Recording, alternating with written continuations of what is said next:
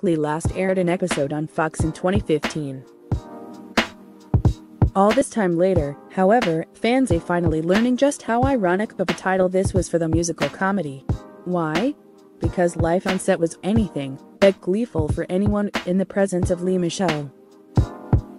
Just about a year ago, a number of actors and actresses who worked with Michele over the years came out and basically destroyed her, one after another after another.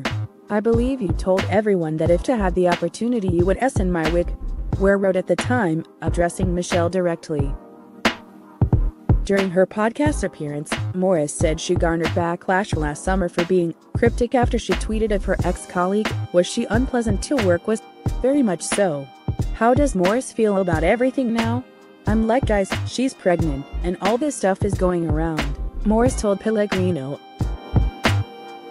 It's true and I don't know if maybe we were victims of bullying and that's a typical victim thing to do.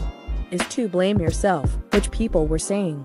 It's true that Michele was expecting her first child right around the time she was being trashed from every direction. Many folks wanted to hear more directly from those who worked most closely with Michele. And almost no one filmed more scenes with her on Glee than Morris. Back in 2016, Rivera, who played Santana Lopez on Glee, spoke out about her relationship with Michele. Santana and Rachel hated each other, but they also had this love-hate sort of relationship, Rivera told Entertainment Tonight at the time. I feel like Lea and I had that while we were on the show.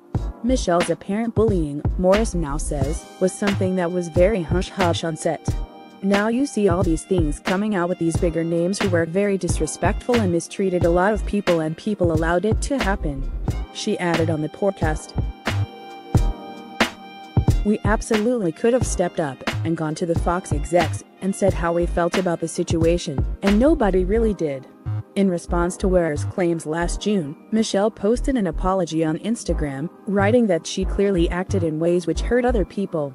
This mea culpa included the following passage whether it was my privileged position and perspective that caused me to be perceived as insensitive or inappropriate at times, or whether it was just my immaturity and me just being unnecessarily difficult. I apologize for my behavior and for any pain which I have caused.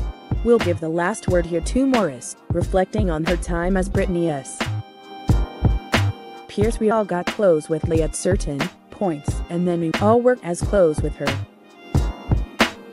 There's that human element to it, to understanding who this person is, growing with that person, seeing her try to become better, and taking care of herself after Corey passed. It was just the elephant in the room.